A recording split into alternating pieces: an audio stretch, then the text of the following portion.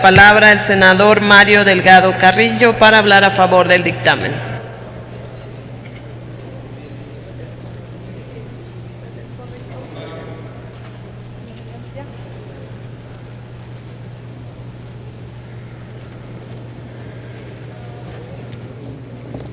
Muchas gracias.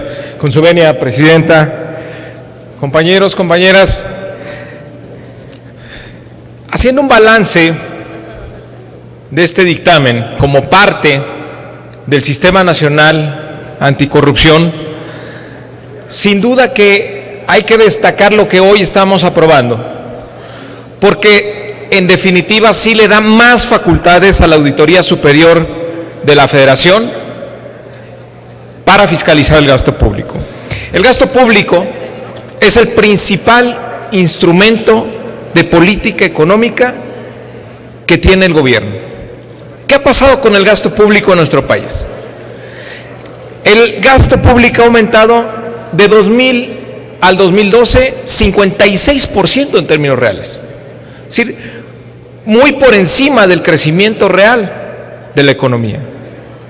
Y en 2013 al 2015 13% en términos reales. En conclusión, al único que le va bien en este país es al gobierno.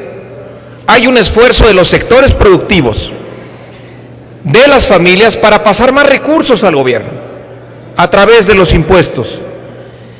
Y el mayor gasto público no ha mejorado ni la salud, ni la educación, ni la seguridad, y tampoco en esta administración ha funcionado para estimular el crecimiento económico. La pregunta es, ¿por qué? ¿Por qué el gasto del gobierno, a pesar de que aumenta, no tiene una incidencia en la calidad de los servicios públicos y en la economía en su conjunto? Hay dos explicaciones. La ineficacia del gasto y la corrupción. El porcentaje de recursos públicos que se van por el caño de la corrupción. Además de la ineficacia del gasto, porque muchas veces se destina a financiar privilegios excesivos en el aparato gubernamental. El mejor ejemplo del mal uso del gasto público creo que lo está dando esta administración. Cómo ha crecido el gasto corriente y tenemos el peor registro medido como porcentaje del PIB en la inversión pública, el peor registro desde 1930. Es decir, México no había invertido, el gobierno mexicano no había invertido en infraestructura tan poco, un monto tan bajo, desde 1930.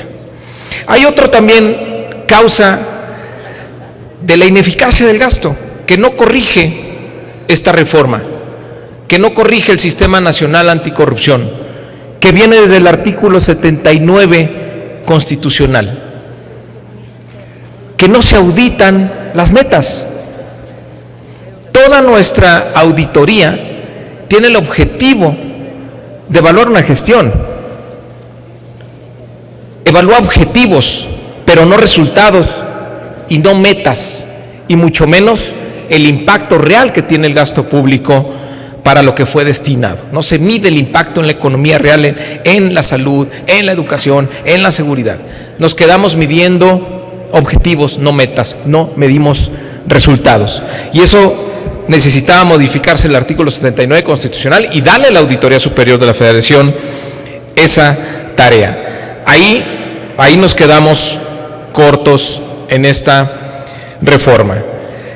Una buena noticia de esta reforma es que la auditoría va a poder entrar, como ya se ha dicho aquí varias veces, a auditar el gasto federalizado y las participaciones federales.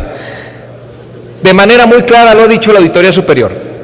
Siete de cada diez observaciones de la auditoría tienen que ver con el gasto federalizado.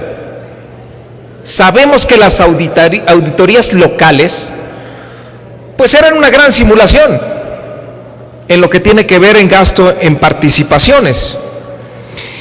Y pues estos rubros forman un porcentaje muy importante del gasto que se transfiere a las entidades federativas. Las aportaciones son el 37%, las participaciones el 36%. Estas son los nuevos rubros que ahora la auditoría podrá entrar. Me parece que esa sí es una buena noticia. Otro punto relevante también, la auditoría sobre la deuda de los estados. Aunque se le den más instrumentos a esta auditoría para revisar el endeudamiento de los estados, creo que sería iluso pensar que con ello vamos a detener la corrupción en este rubro. Porque la reforma constitucional tuvo un punto de vista muy equivocado.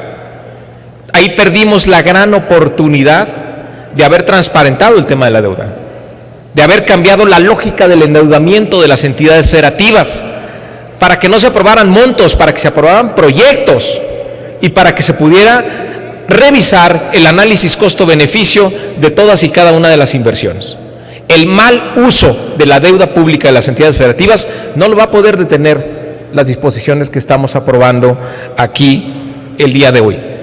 Y tampoco va a detener el endeudamiento, porque sabemos que el crecimiento de la deuda de los estados tiene que ver con una insolvencia que, que tienen la gran mayoría de los municipios, la gran mayoría de los estados, donde gastan mucho más de los ingresos que tienen. La posibilidad de que la auditoría fiscalice fideicomisos, mandatos a los que se transfieran recursos públicos es también otro avance. También la posibilidad de que auditoría entre a revisar la gestión financiera del año en curso. Creo que ahí se podría haber ido más allá.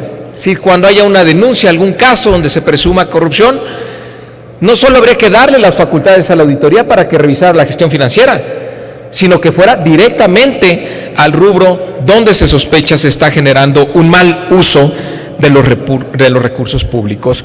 Qué bueno que la auditoría pueda presentar denuncias. Eso podrá también facilitar, sobre todo, el poder encontrar culpables, que es lo que nunca pasa. ¿Qué vamos a tener? ¿Qué podemos imaginar como resultado de esta ley?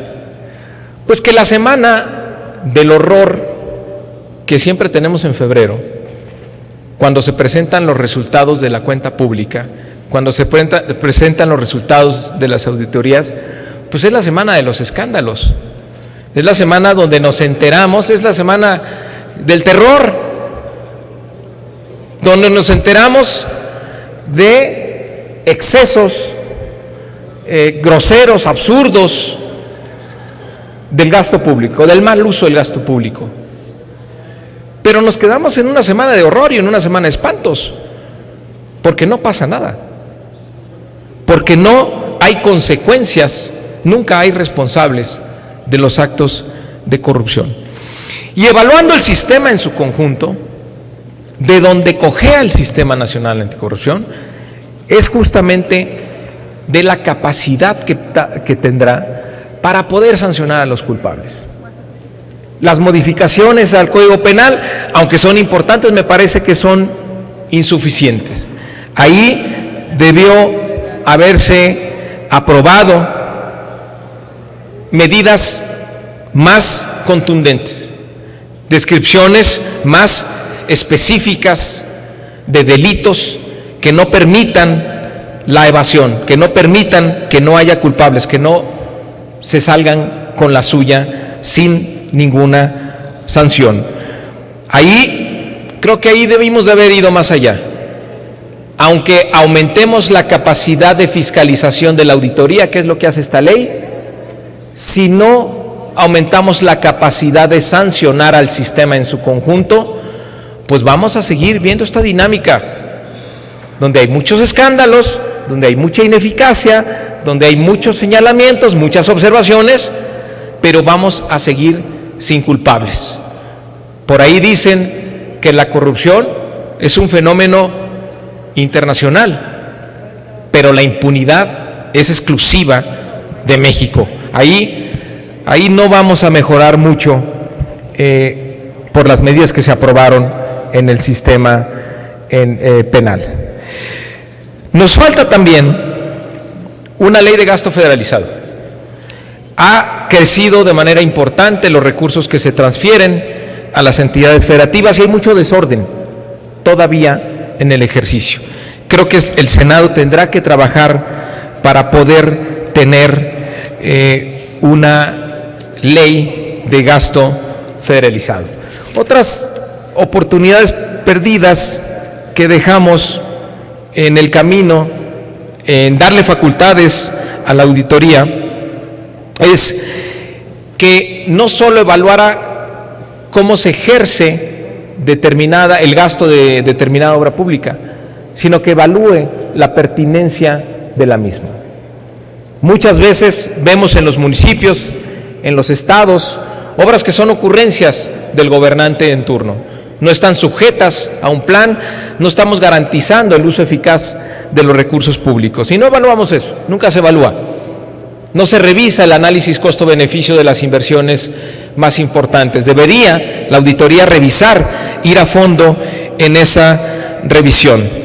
También la auditoría deberíamos darle la posibilidad de que analizara las finanzas públicas de los estados. Es decir, en la reforma constitucional para deuda pública le dimos a este Senado y a la Cámara de Diputados la posibilidad de revisar sus cuentas para ver si pueden acceder a la garantía federal en los créditos públicos. Creo que aquí debería haber una metodología de evaluación sin que invadiera con ello las eh, facultades de los estados de cómo están ejerciendo el gasto público. Una simple evaluación, un monitoreo que pudiera ser comparable con las finanzas de todos los estados. Creo que hay pendientes, sin duda, no vamos a terminar eh, con la corrupción con esta ley. Hay avances eh, muy importantes. Eh, creo que hay una auditoría superior fortalecida. Me parece que es una de las instituciones en México que ha funcionado mejor en los últimos años. Entonces hace todo el sentido fortalecer sus capacidades. Sin embargo, creo que faltaron las sanciones haciendo una autocrítica, la parte del Código Penal quedó bastante flojo y creo que ahí el criterio debe haber sido que tratáramos a la corrupción como delincuencia organizada, que hubiera medidas contra la corrupción como si estuviéramos combatiendo el crimen organizado, que en nuestro país desafortunadamente ha llegado a esos niveles. Muchas gracias. gracias.